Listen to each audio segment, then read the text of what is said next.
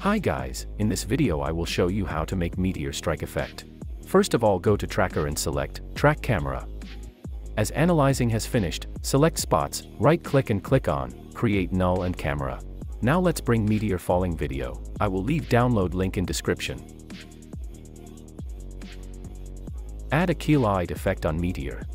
Select eyedropper tool and click on the green screen to remove it. Now link meteor with track null layer and make sure to enable 3D on Meteor layer. Meteor strike is now tracked on the scene. If you have too much movements in your video, Meteor will fall on the point you will track on. Press S on your keyboard and scale Meteor.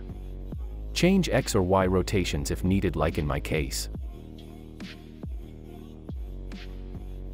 I like it but, it's too slow, I will speed it up a bit. Go to time and select, time stretch.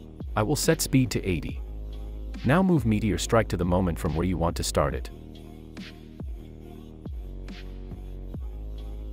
That looked cool for me.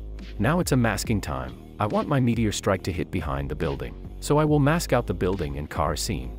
Duplicate the actual video and move it to the top of meteor layer. Rename it, background. Delete 3D camera tracker on it, and let's start masking. To mask out, you can use Roto Brush tool or a pen tool.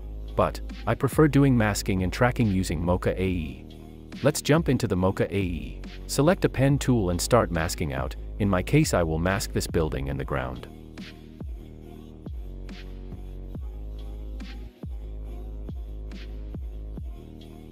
Correct mask if needed. Once you have finished masking and correcting, click on perspective button and hit the tracking button. If mask moves like in this video, correct the mask and track it backward. Once it has finished tracking, click on Save button and close the Mocha.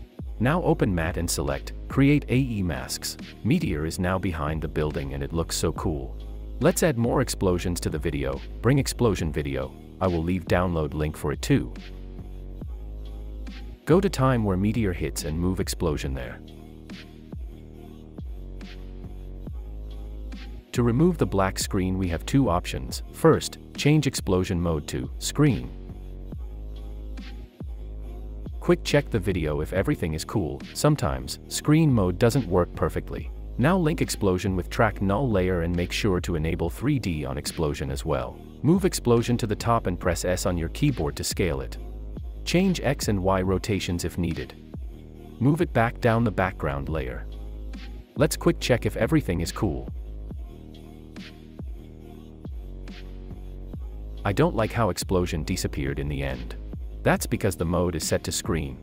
Now we will use second method to remove the black screen from it. Change back explosion mode to normal. Add a Luma key effect on it. Select key type, key out darker and copy my settings. Our explosion videos can be different if you use other with black screen so, play around with settings until it will look cool for you.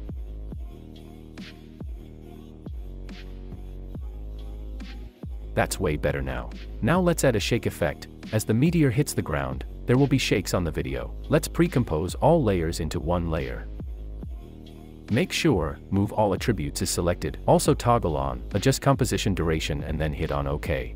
Go to moment where meteor hits the ground, add a Twitch plugin there. If you don't have Twitch, check out this video's description, I will leave download link. Once you've added Twitch, click on amount stopwatch icon to create a keyframe.